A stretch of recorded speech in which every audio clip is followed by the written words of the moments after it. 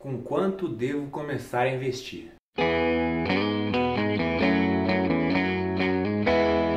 Olá pessoal do Você Mais Rico. Primeiro eu quero agradecer pelos comentários que têm aparecido nos vídeos. Falar que eu não estou tendo tempo de responder todos, mas os comentários são muito importantes porque eles me dão ideias para outros vídeos. Inclusive esse vídeo veio da ideia de um comentário. Algumas pessoas estavam com dúvida perguntando com quanto eu devo começar a investir. E para responder essa pergunta, eu vou partir do geral para o específico. Né? No geral, você pode começar a investir com qualquer valor. Se você tem um real para investir, você já é um investidor. A questão é que quanto menos dinheiro você tiver, menos opções você tem. Por exemplo, com esse um real que eu falei, você não vai ter muita alternativa a não ser colocar na poupança ou ir juntando até ter quantias maiores. Com 30 reais você já consegue acessar uma opção de investimento muito boa que é o Tesouro Direto. Nossa, só precisa de 30 reais? É, só precisa de 30 reais. Se você pretende investir em fundos, aí o dinheiro vai ter que ser um pouco maior também. A maioria dos fundos trabalha com um aporte mínimo de 5 mil, 10 mil reais e depois com outros aportes de mil reais no mínimo. E para a bolsa de valores não tem uma quantia específica, mas entrar com pouco, pouco eu digo mil, dois mil reais, na minha opinião não compensa. Pegando o gancho daquele vídeo onde eu falei sobre as corretoras, por exemplo, quem não viu vai estar aqui na descrição, vou deixar um cartão aqui também. Aquele vídeo eu falei sobre as taxas né, de custódia, de corretagem. Vamos supor que você entre com mil reais para comprar uma ação. Primeiro que você não vai conseguir comprar várias ações, porque a gente negocia em lotes de 100 em 100, se você quiser participar do mercado integral. Você vai ter que comprar uma ação que custe até 10 reais para dar os seus mil reais. Na verdade, até 980, 950, dependendo da corretora que você tem.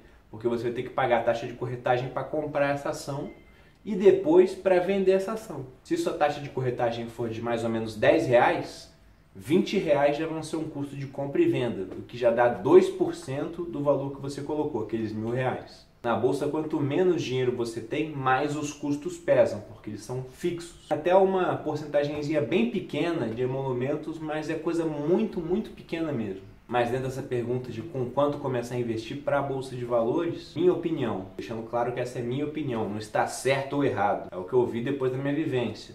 Eu acho que a pessoa tem que começar no mínimo com 5 mil reais. Se tiver uns 10 mil, bem melhor também, porque ela vai conseguir montar uma carteira mais diversificada, não vai ficar tão preocupada com os custos ali de corretagem, taxa de custódia. Ela vai ter mais liberdade para fazer os movimentos que ela precisar. E a última classe de ativos do qual eu vou falar que são os fundos imobiliários, que também tem uma negociação bem parecida com as ações. Você também faz tudo pela internet, pelo home broker. E tem preços muito variados. Tem cota de fundo que custa 20 reais e tem cota de fundo que custa 2 mil reais. Então tem uma resposta assim, começa com X. Não há certo ou errado nessa questão também, igual às ações.